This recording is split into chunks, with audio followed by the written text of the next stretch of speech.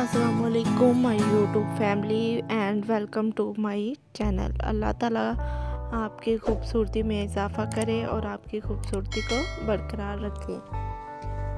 खूबसूरत रहने के लिए हमें कोई ना कोई रेमेडी और इंग्रेडिएंट्स फेस पे यूज़ करना चाहिए। हम हर दूसरे दिन पार्लर नहीं जा सकते, लेकिन जो डी आई वाई रेमडीज़ होती हैं, उससे चेहरे पे बहुत ग्लो आता है। ये भी एक नेचुरल रेमेडी है, जिससे आपका कलर ब्राइट होगा और एक्नी भी रिमूव होगी। बेसन बेसन कदीम ज़माने से ही खूबसूरत रहने के लिए रेमडी में इस्तेमाल किया जाता है। इस बेस रेमडी में हम दो चम्मच बेसन इस्तेमाल करेंगे, जो कि स्किन को ग्लो देगा। उसके बाद हम यूज़ करेंगे एक चम्मच बलाई दूध की हम बलाई एक चम्मच इस्तेमाल करेंगे जो कि स्किन को सॉफ्ट बनाएगी। उसके बाद हम हल्दी यूज़ करेंगे आधा चम्मच जो कि एंटीबायोटिक प्रॉपर्टी रखती है, उसके बाद हम शहद यूज़ करेंगे एक चम्मच जो कि नरम मुलायम स्किन को बनाएगा और स्किन की ब्राइटनेस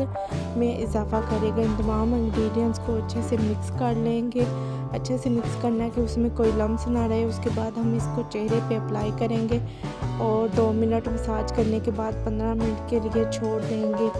जब ये पंद्रह मिनट हो जाएँगे ड्राई हो जाएगा तो फिर हम फेस वॉश कर लेंगे और कोई साबुन वगैरह यूज़ नहीं करना। इस रेमडी को इस्तेमाल करने से स्किन पे ग्लो आएगा और स्किन की खूबसूरती में इजाफा होगा। जो स्किन के अंदर डस्ट चली गई है, वो रिमूव हो जाएगी और चेहरा एक्नी फ्री हो जाएगा अगर आपको मेरी वीडियो अच्छी लगी तो मेरे चैनल को सब्सक्राइब कर दें, बेल आइकन को प्रेस कर दें। Thank you for watching